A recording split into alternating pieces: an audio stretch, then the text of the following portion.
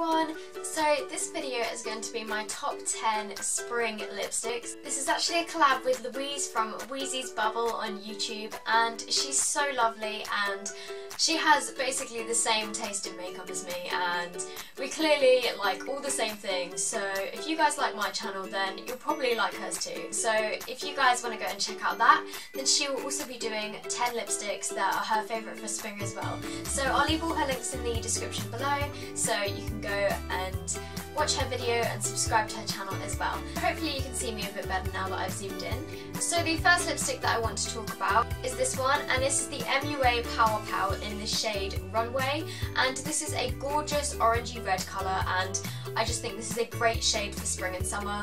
It's super moisturising, it's one of these stick lipsticks and mine is a bit melted at the top but you just twist it to um, bring up more product and this is a lovely lipstick, it's super moisturising and it smells amazing too.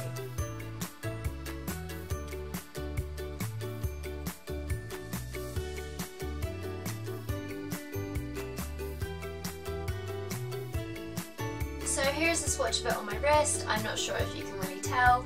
Um, but it's really shiny, really glossy, and it's a really nice colour. So the second lipstick I want to talk about, which again I love for spring, is this one, and it is a Rimmel Apocalips in the shade Luna, and this is a really gorgeous nude coral colour, and it's just beautiful.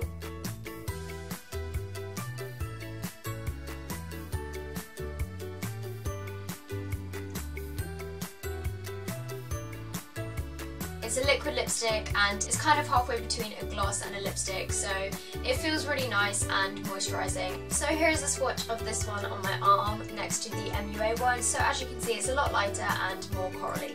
The next lipstick I want to talk about is this W7 Mega Matte Lipstick in the colour Chippie and again this is another coral colour but instead this one is matte and it's another liquid lipstick but this one dries to a matte finish and I got mine on Amazon in a set of five which I really recommend because it, they worked out super cheap. I think it was about £8 for five of them so this is a steal really.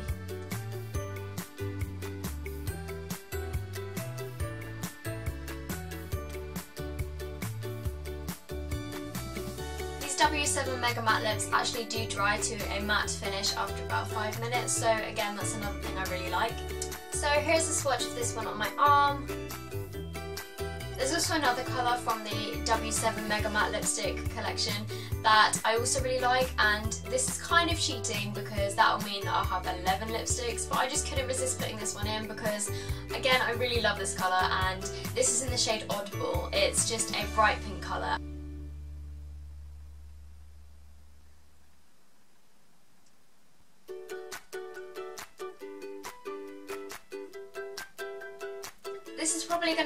My favourite colours for this spring and I just think it's such a lovely pink colour that everyone needs in their lipstick collection. So here is a swatch of it on my arm next to the others. It's really difficult to show these arm swatches because as I turn my wrist you can't see them as well, but whatever. So the next colour is a Revlon Lip Butter in the shade Tutti Frutti and this is just a really pretty orange colour. It's one of my only oranges in my collection other than the MUA one I showed earlier, but this is more of a true orange colour and it's again super moisturising as it's one of the lip butters and I love this shade in the summer.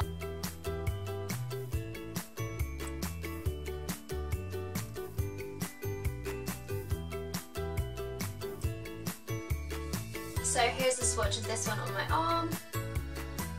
The next colour is actually from Primark from the PS Love Beauty range and unfortunately this doesn't have a name so I can't tell you what it's called but it's basically a really pretty bright pink colour.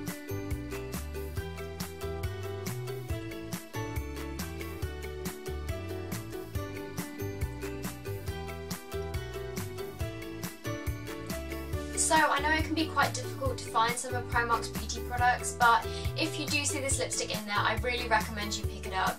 It's just a really pretty bright pink shade and their lipsticks are also super creamy and super moisturising and they smell really nice as well. The next is another Revlon lip butter and this is in the colour Creme Brulee and this is my favourite nude colour for the spring and summer. It's super lightweight and it's quite sheer and it just provides a really nice nude glossy finish basically on your lips and this goes with any makeup look so I really like this nude colour. But I'm really running out of it so I need to pick up another one.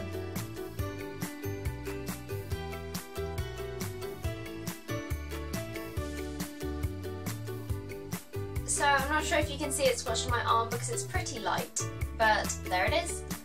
So next up is this MUA lipstick in the shade number 2 and again unfortunately this doesn't have a name but this is a really pretty purpley pink colour and these lipsticks are only £1, they're super creamy, super buttery and I love them.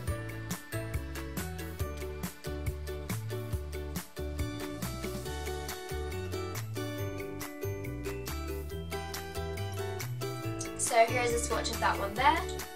Next up I have a Revlon matte lipstick and this is in the shade Pink Pout. I've mentioned it in a video before. It's basically just a really pretty pink colour. I think it's similar to Snob from MAC and it's just got that kind of purpley, uh, under purpley blue undertone to it. It's great for the hotter months.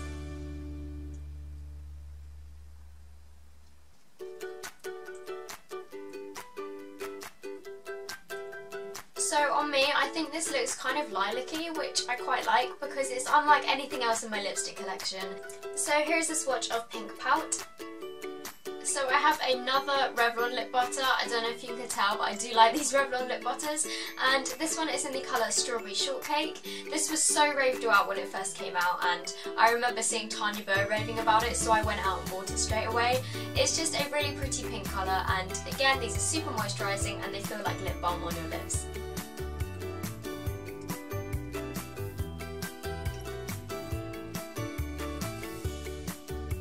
So here's this swatch of Strawberry Shortcake and I'm running out of arm space. So the final lipstick that I would recommend for spring is this NYC Smooch Proof Liquid Lip Stain and I've mentioned this again in previous videos and this stains your lips so badly so that's why I've left it till last but it's just a beautiful hot pink colour.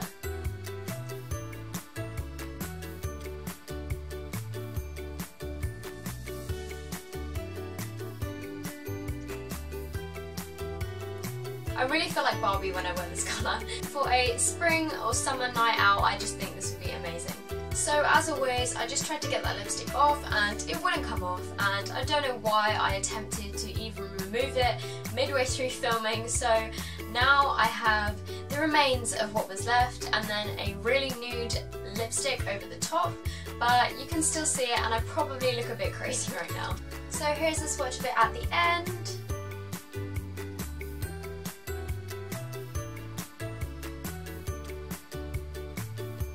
So that is it for my top 10 or 11 um, spring lipsticks and I really hope you guys found this useful and entertaining. So please also go and check out Louise's video on her channel Wheezy's Bubble and I will link that down below and she's also going to talk through her top 10 spring lipsticks. So yeah, I hope you guys enjoyed this video and I hope you will go and subscribe to Louise and subscribe to me as well if you like and please if you liked this video give it a thumbs up and comment your favourite spring lipsticks in the comments below. So thanks for watching guys and I'll see you in my next video. Bye!